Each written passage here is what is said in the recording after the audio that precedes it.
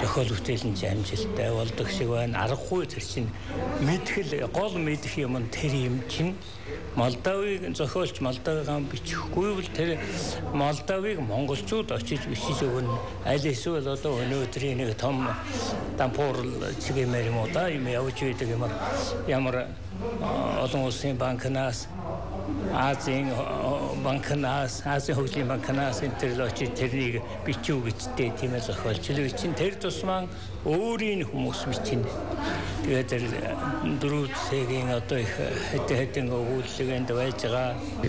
Өнөөдрийн арга хэмжээ бол яг өнөөдрийн цаг үед маш чухал нэвтрүүл гэж бодож байгаа. Бид өнөөдөр харилцан бие нэгэ муулж, харилцан бие нэгэ дурамжилж харилцсан биеиндээ зааг ялгаа гаргаж хөрөнгөтэй мөнгөтэйгээр ялгуурлаж хан хэрэн босгож алуун тушаалаараа хан хэрэн босгож ард түмнээс тасарсан ийм үйл ажиллагаа явагдаж байгаа энэ үед танай энэ сайхан нэвтрүүлэгт гэгээлэг э, олон зүйлүүдийг ярьлаа. Өнөөдөр Монгол улсад бол ард түмнийгээ соён гэгээрүүлэх асуудал маш чухал.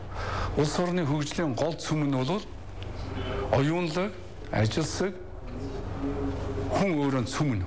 Тэгэхээр үнэхээр сайхан өглөө байлаа. Тэгээд өглөө бүрийг ингэж номтоо хөвтдөг бол ингэж оюунда гэгээ цэцруулан хөвтдөг бол хичнээн сайхан мэлээ тийм ээ. Тэгээд танад телевизээр санаачилсан энэ арга хэмжээнд ирсэндээ үнэхээр баяртай. Тэгээд самрахтан гэд миний энэ 2017 онд хамгийн сүүлд бичсэн ном маань Монгол төмний эв нэгтлийн тухай ерөнхийдөө хүмүүст өгүүлэхийг зорьсон ном л да бид эвтэй байвал чухам юу хийж чадах юм бэ? Эв нэгдэл гэдэг бидэнд юу юунаас илүү чухал юм шүү дээ гэдгийг 15 дугаар зууны үед амьдарч байсан Алтан ургийн угсаа залгамжлагч элбэний үйлсэгч хааны охины үйл амьдралаар самратны амьдралаар тулгуурлан ингэж гаргаж ирсэн ийм л зохиол байгаа юм л да. Тэгээд аль 15 дугаар зуунд болж исэн тэр монголчуудын хоорондоо эв нэгдэлгүй баруун зүүн монголороо ялгарч хоорондоо дайтж байсан хоорондоо одоо өрсөлдөн тэмцэж байсан тэр тэмцэл өнөөч гэсэн үргэлжилж байгаа нь харамсалтай. Тэгээд ямар ч гэсэн монголчууд эв нэгдэлгүй байхаараа юм юунд хүрдэг юм бэ? Эв нэгдэл биднийг юунд хүргэдэг юм бэ гэдгийг л энэ одоо өөрийнхөө бичсэн цаврал номнуудаар харуулахыг зориод яваад байгаа юм л да. Тэгээд зорьсон зорилго маань бас тодорхой хэмжээгээр нийгэмд хүрч уншигчдад ойлгогдож байгаад бол би баяртай. Тэгээд миний номыг бас хүлээж уншдаг уншигчдаа баярлалаа. Тэгээд ямар тач гэсэн та бүхнийхээ одоо урмыг хуглахгүй дараа дараагийнхаа бүтээлийг ч гэсэн бас утгагүй дэлгэх болно гэдгийг хэлмээр байна.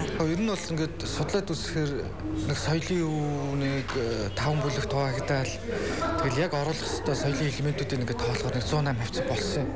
Тэгээ ер нь одоо юу гэдгийг яг энэ соёлын өвийг хүүхдүүдэд танилцуулж байгаа энэ дотор жишээ нь уртын дуу ч юм уу эсвэл одоо сүү цагаан эдэний тухай ч юм уу ингээд яг хонь хариулах тухай ч гэдэг юм ингээд яг сонирхолтой тэр хэсгүүдийг орхичвол харин биз дээ. Тэгэхээр би бол хувьдаа юу гэж бодсон бэ гэхэлэр ер нь ингээд яг бүгдийг ингээд цогцоор нэг сурал ном, нэг сурал контент, нэг сурал хөгжлийн кино үзэхэд ойлголт авдаг бол гоё юм байна гэж анх энэ санаа гаргаж ирсэн.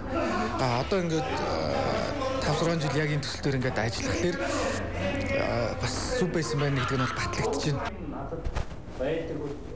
Дахиад жилийн шилдэг номоор мөн төрийн сойрхолт балжрын догмдын туулайн тал зохиолч яруу найрагч аюур заны сахиус тангаанус шалгарсан ч эрхэм зохиолчд өөрийн биеэр ёслын үйл ажиллагаанд хүнддэх шалтгааны улмаас зочлоогүй юм а. Дахиад жилийн тэргуун нам шалгаруулах үйл ажиллагааг үндэсний аж үйлдвэрийн танхим ивент гэж Монгол хүний оюунд хөрөнгө оруулалт хийх ажлыг дэмжиж ажиллалаа. Манай үндэсний аж үйлдвэрийн цэвэл бол өнөөдөр Монгол улсын хэмжээнд Монгол улсаа хөгжүүлэхэд үйлдвэр хөгжүүлэх асуудлыг бол одоо нэг намарт яриад явдаг.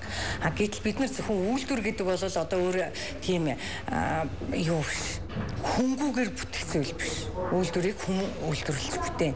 А ингэхэд бол хүний оюун санаа гэдэг юм бол бас хамгийн чухал үйлдвэрлэлд ханддаг хүний хүмүүжил оюун санаа гэдэг юм. Энэ оюун санааны э, үрийг тарихчд бол манай зохиолчд байдаг.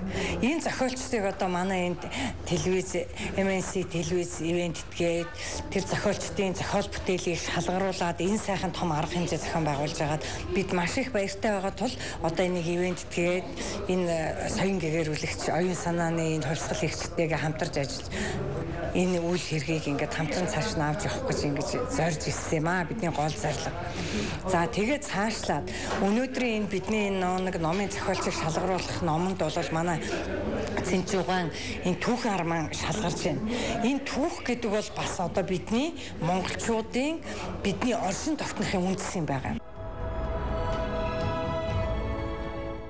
Ном нэвтрүүлэг мигмар гараг бүрийн 21 цаг 40 минутаас үзэгч та бүхэнд дэлхийн болоод Монголын номын ертөнцид өрнөж байгаа бүхий сонирхолтой мэдээ мэдээллийг нэгтгэн хүргэнэ. Мөн та манай нэвтрүүлгээс шинэхэн талах шиг хэвлэх үйлдвэрээс гарсан шинэ номын мэдээлэл болоод номын зохиогчтой уулзаж мөн алдар зохиолчдын анхны ном номын сантай танилцах бүрэн боломжтой.